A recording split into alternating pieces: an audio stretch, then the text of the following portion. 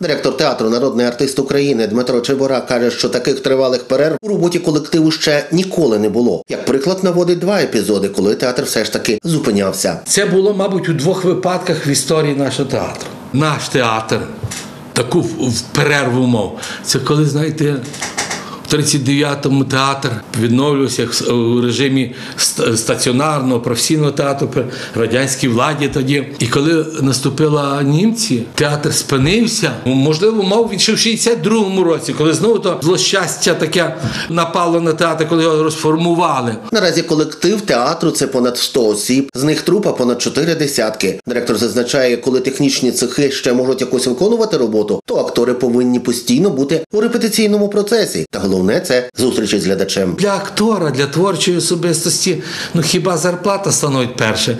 Ну, артист, знаєте, він ну, хоче зустрічі з глядачем. Розумієте, зарплата це не вираховується. А як вирахувати ем, емоції, почуття? Ну, це кожного вечора має бути зустріч, має бути зворушення. Ну, а цього немає. Зі слів очільника колективу, карантин не вплинув на склад творчої трупи. Навіть є поповнення. Тут призначили нового головного режисера. Ним став Дмитро Мольничук. Актор до цього працював на Буковині та Волині. Однак, як зізнається, серцем завжди був із Коломиєю. Була просто якась така е, тяга все-таки до цього чудового колективу.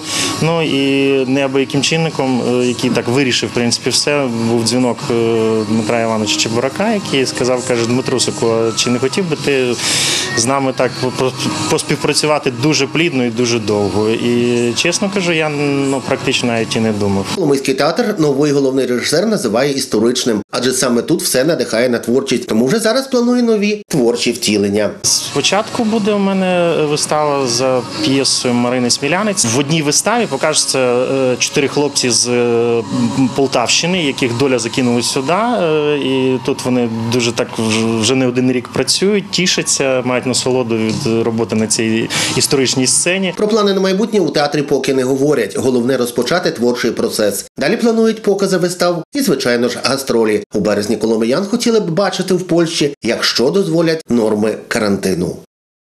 З Коломиї Богдан Малецький, Галина Ровенчук, телерадіокомпанія Раї.